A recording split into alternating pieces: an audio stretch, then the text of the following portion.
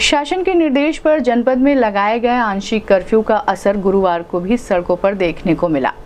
सड़कों पर चहल पहल कम दिखाई दिया प्रमुख सड़कों व चौराहों पर सन्नाटा देखने को मिला। महानगर के नॉर्मल टैक्सी स्टैंड, नागलिया तिराहा, ट्रांसपोर्ट नगर चौराहा, शास्त्री चौक, नॉर्मल पुलिस चौकी पर लॉकडाउन का असर देखने को मिला। जिसके संबंध में एसपी सिटी सोनम कुमार ने बताया कि लॉकडाउन में बैरिकेटिंग कर प्रमुख जगहों पर चेकिंग किया जा रहा है। सुबह से जो भी वाहन आ रहे हैं, उनकी चेकिंग सख्ती से की जा रही है। उन्होंने यह भी कहा कि जो मास्क नहीं पहन रहे हैं, उनका चालान भी काटा जा रहा है। इसके अतिरिक्त दुकान को भी चेकिंग किया जा रहा है। जिनको खोलने का आदेश नहीं किया गया है, उनके ऊपर मुकदमा भी दर्ज किया जा रहा है।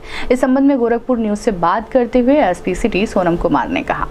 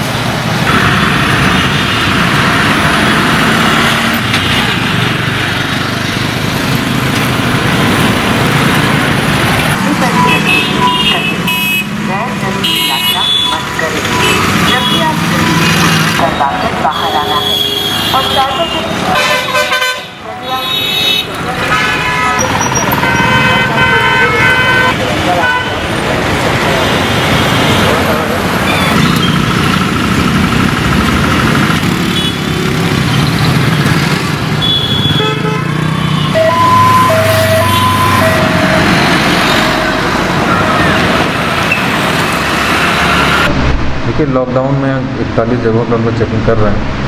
और ड्यूटियाँ वहाँ लगाई गई हैं और शिफ्ट वहाँ लगाई गई हैं। और सुबह से जो भी वाहन वगैरह आते हैं, उनकी चेकिंग की जाती है। जो भी व्यक्ति आता है, उनकी चेकिंग करते बिना मास्क के जो व्यक्ति आता है उसका चलान भी किया जा रहा है।